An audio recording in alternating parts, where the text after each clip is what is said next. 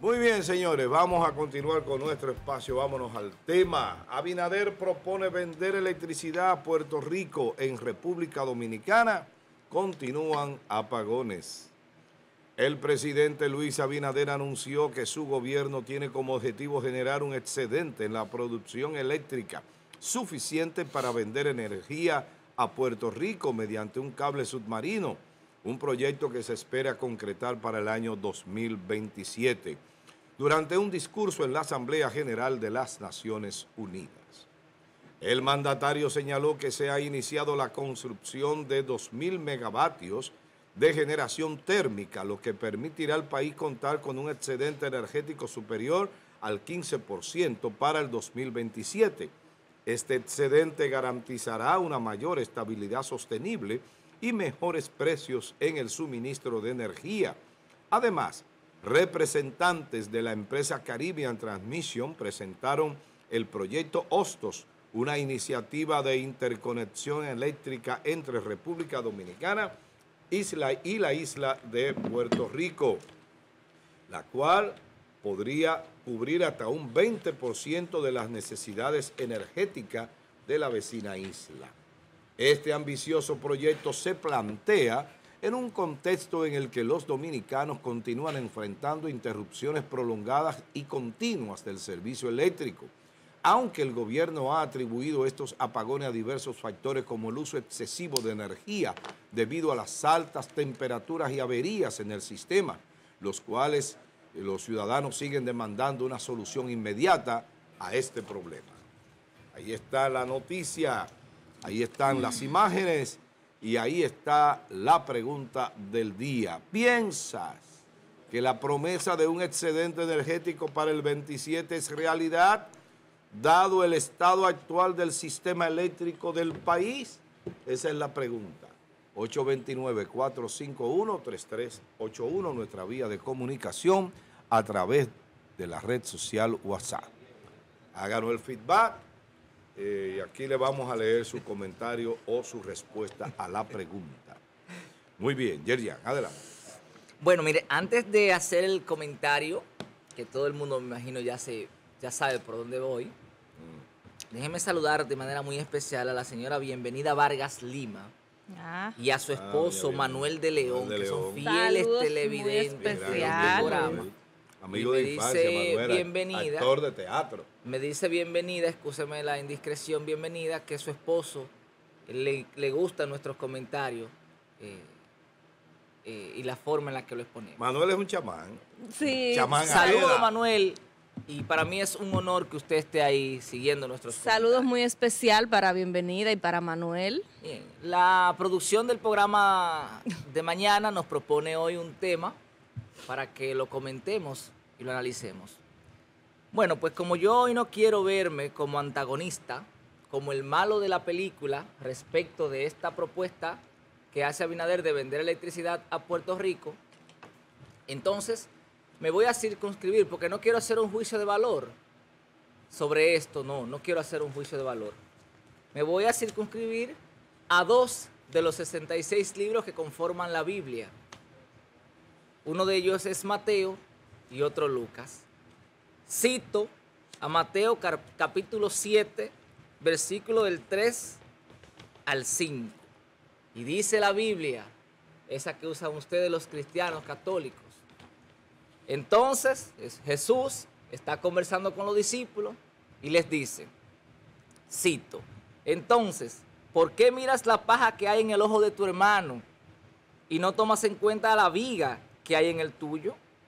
¿Cómo puedes decir a tu hermano, permíteme extraer la paja de tu ojo, cuando mira, hay una viga en el tuyo?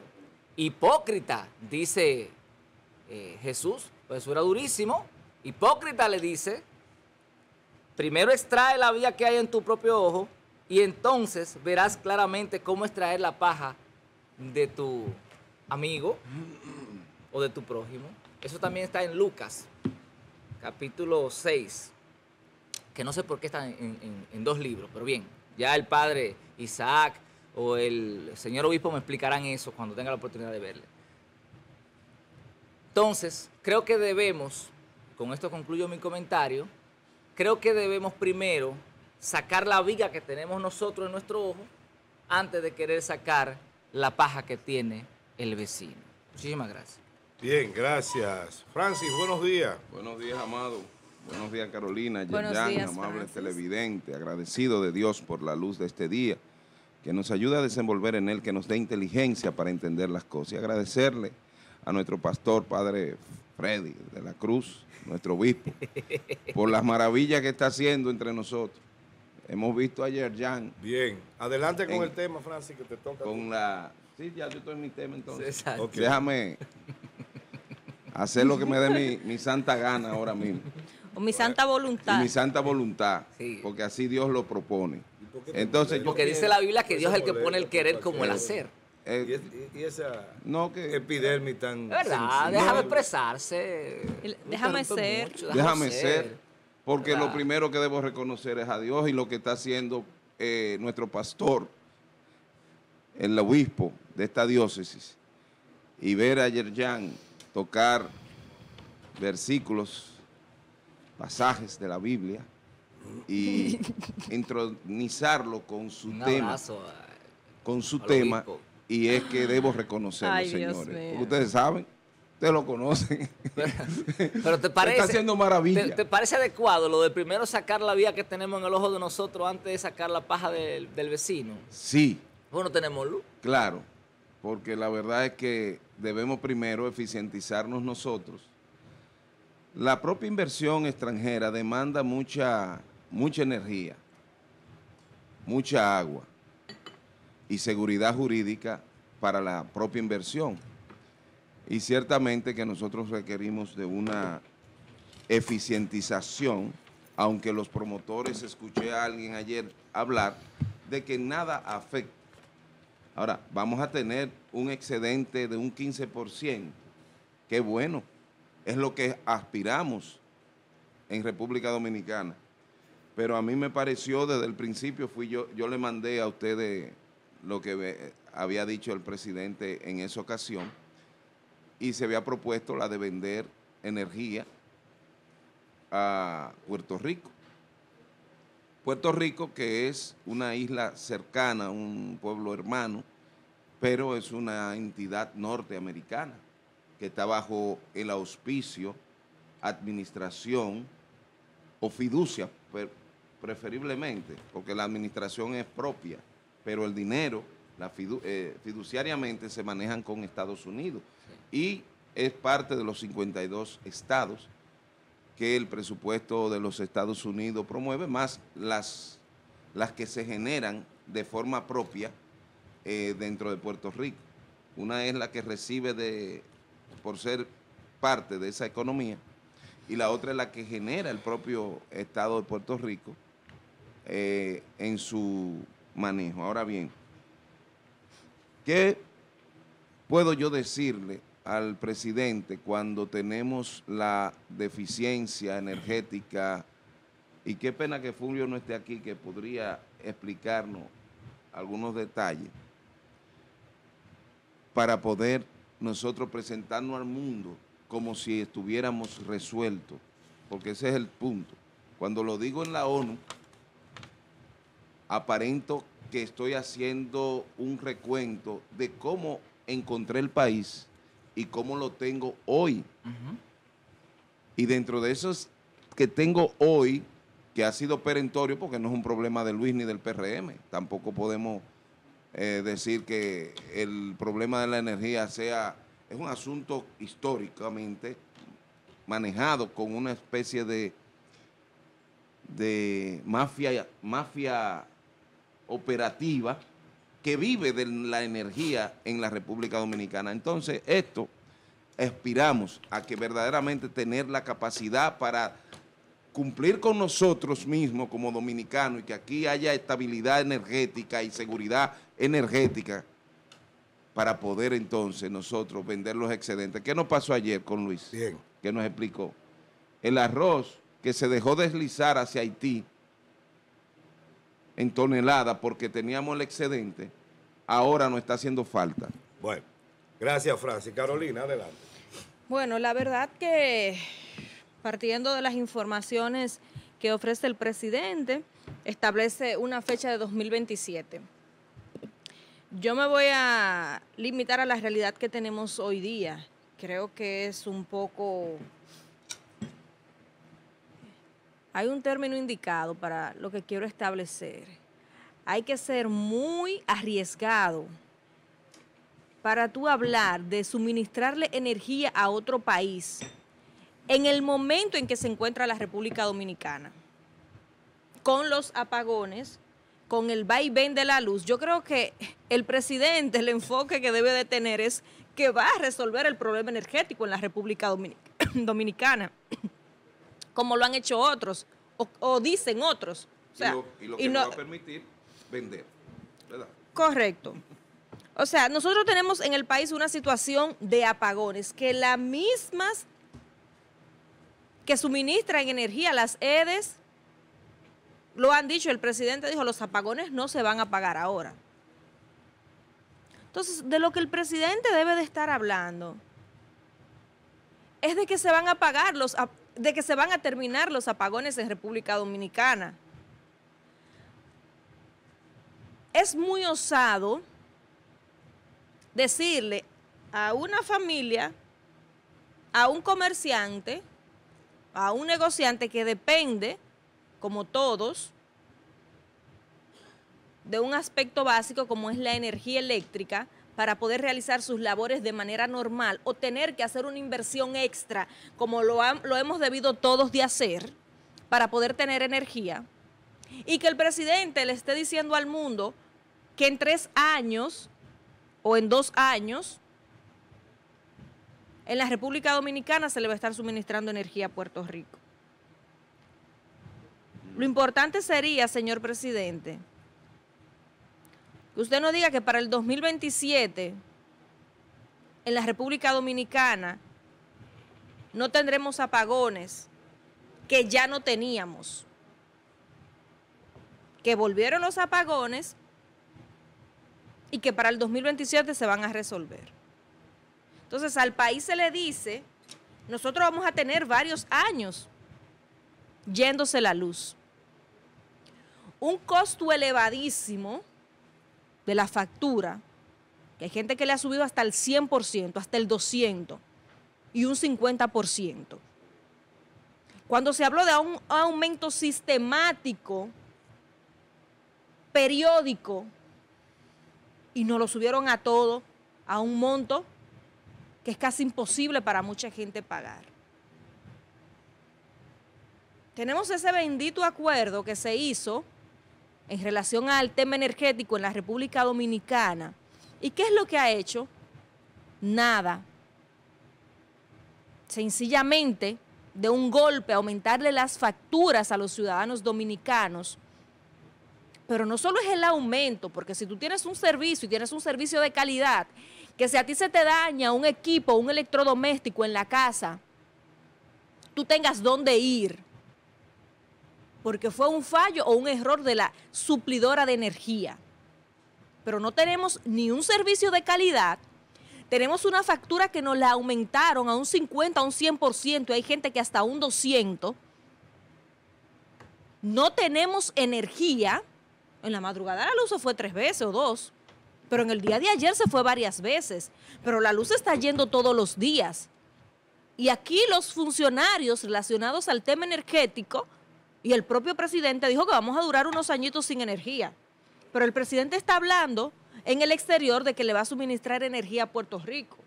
Qué bien si van a producir todos esos kilovatios. Pero mientras tanto nosotros tenemos un problema aquí serio de costo elevado cuando se trata a nivel de negocio, con esta calor insoportable, yo no sé cómo se hace la gente sin energía en la casa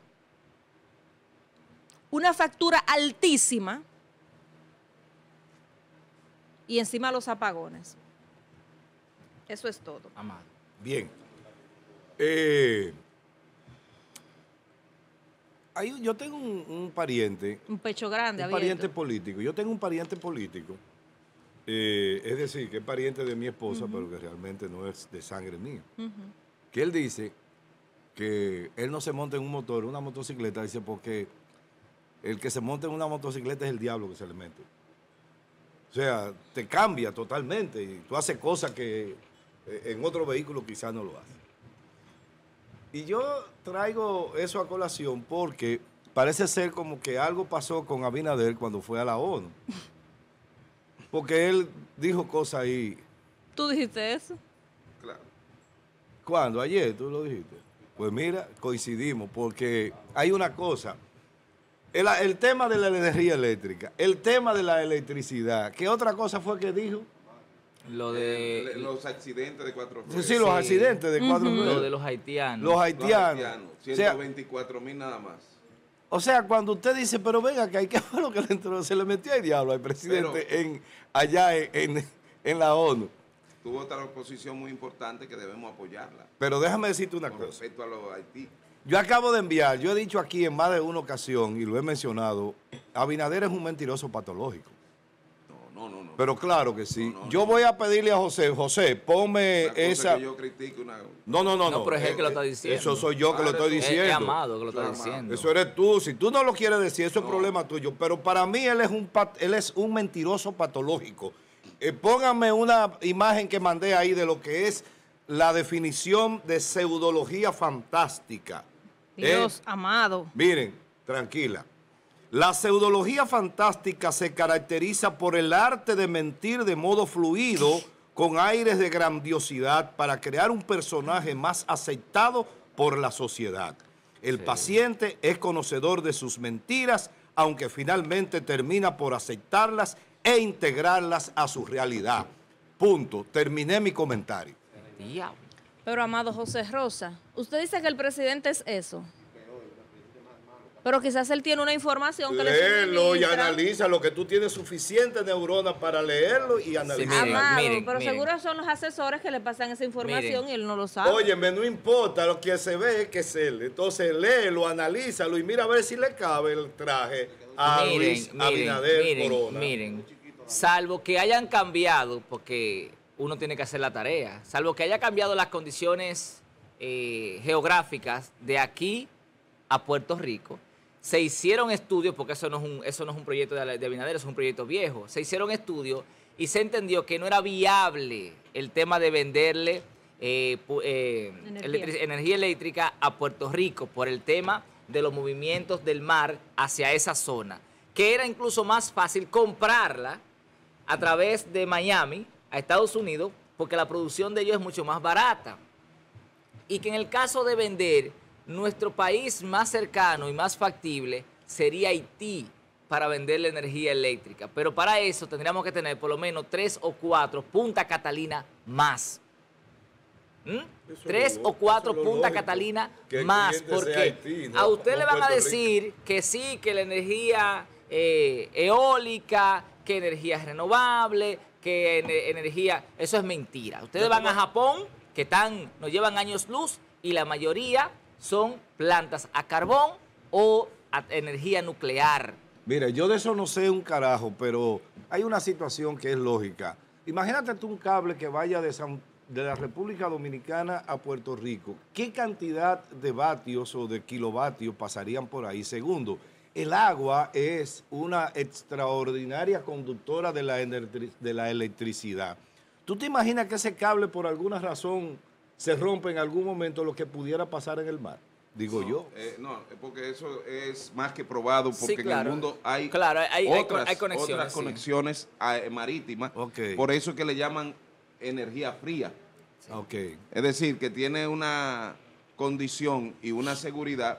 De hecho, la fibra óptica ha viajado. Sí, pero la cantidad de claro. electricidad que pasa por una fibra óptica no es la misma que pasaría por un Y cable. esa donde- es una energía fría, la de, Sí. la, la de esa energía. Pero el tema es que aquí tenemos ahora mismo eh, un déficit de producción de energía, es lo primero porque no tenemos energía suficiente para cubrir todo el país, y luego tenemos un déficit de distribución de energía, que gran parte de la energía, de la energía que se produce entonces se pierde en el camino. Tú le estás, tú estás Por- proponiendo vender el arroz y la bichuela de tu casa sin averiguar si eso te alcanza No, para no, el no, mes. la bichuela que tú no tienes. Amado no estuvo ayer, y mira, para, tú, hablamos. para tú poder vender energía, tú tienes que decir, bueno, yo tengo el arroz de un mes y me está sobrando medio saco. Como yo no voy a consumir ese medio saco y se me va a perder, entonces yo voy a vender el medio saco que me está sobrando. Pero tú tienes que tener ese medio saco que no lo tenemos ahora Pero mismo. tener que tener seguridad de Y que, en dos años no lo vamos va a tener. el mes que viene. Eh, miren, en dos años Una no lo vamos pregunta a a ustedes tener. tres.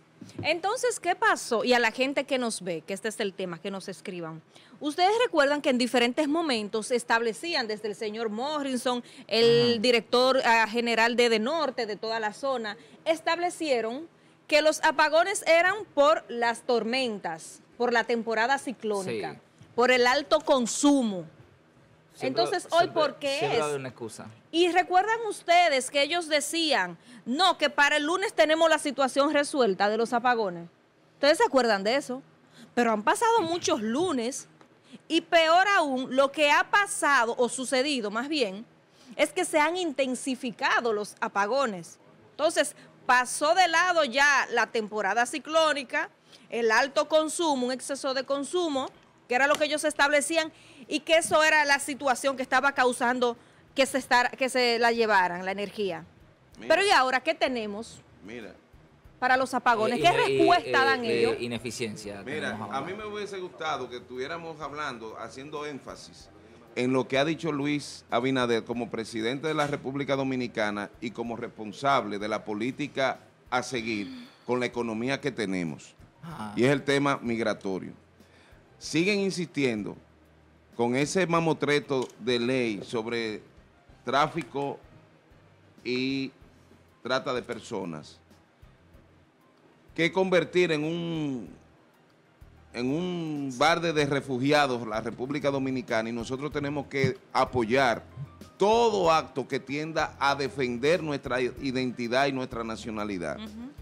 El presidente ha hecho lo correcto en sus comentarios y si no van a ayudar la- la- a, la re- a- a Haití a recuperarse en Haití, la República Dominicana, hay que hacerle énfasis allá, no puede. Señores, yo tengo una Vamos primicia, yo No tengo una puede. primicia, amado. Permíteme esta primicia antes, Pero si seguimos también diluidos, dejando al- esto al- pasar, nos están jodiendo. Vamos en el día de ayer me pasan la información de la orden departamental 33-24, donde el señor Luis Gabriel Ventura Regalado, quien es el actual eh, presidente de la sala capitular de San Francisco de Macorís, fue nombrado, designado como director de la Oficina de Gestión Inmobiliaria del MINER. Eso es ilegal. Totalmente. No, yo no sé. renunciar. Yo estoy Uno dando la uno información re- de acuerdo a, dos. ese- a esa orden departamental donde Luis Gabriel Ventura Regalado está es designado entre como director grupito del Departamento de Participación Comunitaria. No, Bueno, no, me- este- eh, Que di- ajá. la regiduría. Director, corrijo, corrijo, corrijo. Director del Departamento de Participación Comunitaria del Mira, yo te voy a decir algo, perdón, Yerjan. Bajen un poquito la música, Ah, bueno. muchachos. Perdón, Francis. Mira, en este país tiene que acabarse este relajo. Para mí es un abuso y una falta de respeto hacia el ciudadano que va a las urnas a votar. Más que nepotismo. Aquí la gente va a hacer fila porque entiende que un ciudadano los representa, pero solo es para ocupar o ganar ese puesto y luego movilizarse a otras instituciones. Eso es poner la gente de relajo. Y no es la primera vez el caso de este joven. Señores, pero por Dios, vamos a descontinuar esa práctica. Bien. Si por usted votaron para ponerlo en un puesto representativo, de regidor, de legislador, puede renunciar. pero no que no renuncie, que se supone que para eso es que él está en esa posición. La bien. gente votó por él, Está, amado. está bien, pero puede renunciar y cumple Mira con lo la que ley. pasó en La Vega. Eh. La Vega completa de relajo la pusieron a votar por Kelvin Cruz. Y por para la- que entonces llevárselo para no, y otro por la lado. vicesíndico Y ahora, No. ah, y a- y a- Aquí y hay que ahora a la en gente. vega, ahora no encuentran a quién poner. ¿Tú sabes qué es lo que hacen para garantizar los puestos y si tienen la gente para luego irse? Bueno, no, hombre. señores, vamos a hacer contacto con nuestros No, televidentes a través del WhatsApp. Carolina, Estoy cogiendo, eh, pique temprano. Bueno. Claro. Desmoléstate. No, este país hay que adecentarlo, señores. el la gente señores. merece respeto. Aquí va a haber que hacer una reingeniería que Ojalá, amado.